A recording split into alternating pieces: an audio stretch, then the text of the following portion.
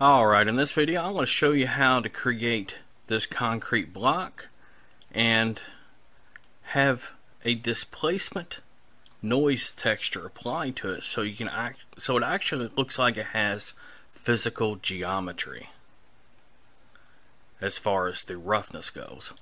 You will have to you will need to download um, one image for the texture that will be in the description of this video. Alright, let's go ahead and get started. File new, and then reload startup file. If you have the cube in yours, go ahead and delete it because you do not need the cube for this. Instead, we're going to start off with a plane. Alright, I'm going to press 7 on the keyboard, go to top side view, then press 5 to go into orthographic view or two-dimensional view and then I'm going to add mesh and then plane.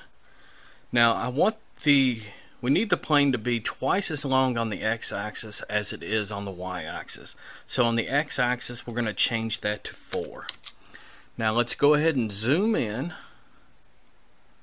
so we can get a better look at it. Before we go on to the next step let's go ahead and apply the scale. Control A and then scale. Now, let's go into edit mode by pressing tab. Once we're here, we need to subdivide this. Let's sub click on the subdivide button right here and then change this to 4 for 4 subdivisions. Now press A so that nothing is selected. Choose the edge select icon down here and then right click here on this vertice and then shift right click shift right click shift right click shift right click now that we have all of these vertices selected let's move them on the x-axis until they're just four small blender units from the edge. Let's do the same right here. Shift right click shift right click shift right click shift right click move it till it's four bl uh, small blender units from the edge and do it we would need to do it with the, with the top and bottom but they they're already four small blender units from the edge so they're fine. But we do need to do it to the middle. We need we need this row of vertices to be four units from this row of vertices. So we need to move this side in to small units. One, two, and then do the same to this side. Shift right click, shift right click, shift right click, shift right click. Alright. Now press A so that nothing is selected. And then go to face select. Click on the face select icon.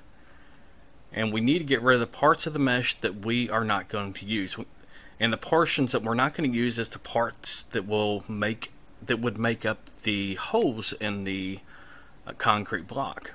So that would be right here right here right here and I'm shift right clicking for each face and then I'm going to press delete.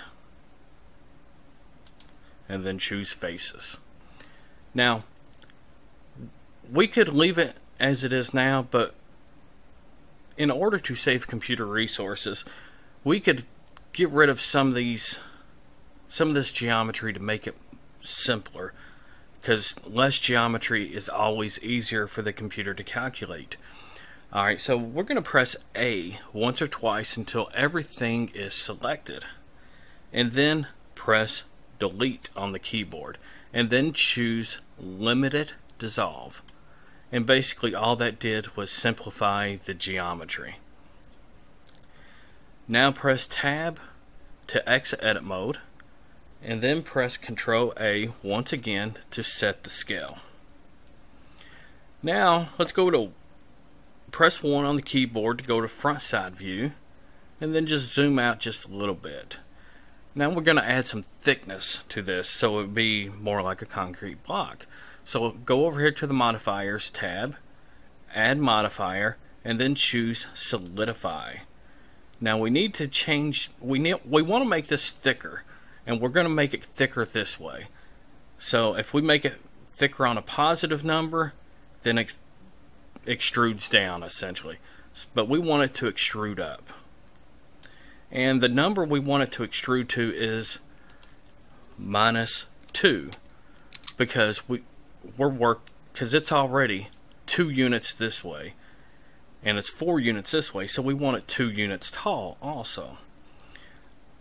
Now once we have that set go ahead and click apply and then once again control A to set the scale. We want to add a little bit of a bevel on the edges.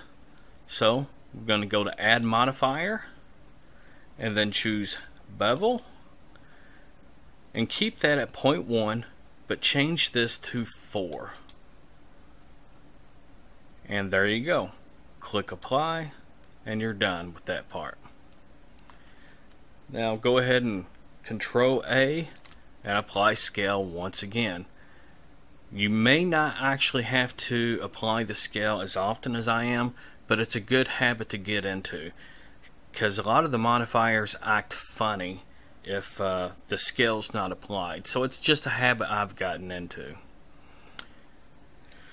Alright, now we need to apply a texture to this. So with the cube selected, I'm going to go ahead and set the origin to the center of mass before we go any further. Make sure the cube selected on the tools tab over here, set origin to center of mass on the volume. Alright, now I'm going to go to the materials tab, press new, change this from diffuse to uh, principled, and then choose image texture. And this is where the image texture that uh, you need to download. This is where you need it. Click open and the um, image texture where are you where are you at? Here it is. The image texture is called uh, concrete texture repeating. That's what that's the image that you need to download. And again it's in the description of, of this video. Now we need to change the roughness. Change that to let's say 0.9 and then let's go ahead and pull this over. And then change this to UV editor. And then click right here and grab click on the concrete concrete texture. Now with the mouse over the concrete block press tab to go into edit mode. Press A once or twice until everything is selected and then press U and go to Smart UV Project and then click OK. And then over here you see all of the uh, faces applied to the texture. I, I usually press A so I can select them I don't it doesn't really matter when you're just doing this kind of a simple UV uh, unwrapping I'll go ahead and slide this over. Press tab to leave edit mode. And see if we go to rendered mode. Let me go ahead and add a light so we can see what's going on. Add. Uh, where you at? Lamp. Point.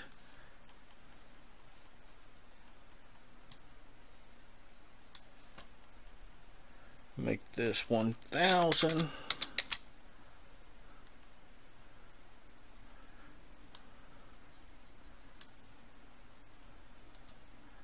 And there you go. But if we look at it real close, there's no bump map to it. There's it's just a texture and that's it. We don't want that. We want to see some sort of texture. I'm going to go ahead and click on smooth.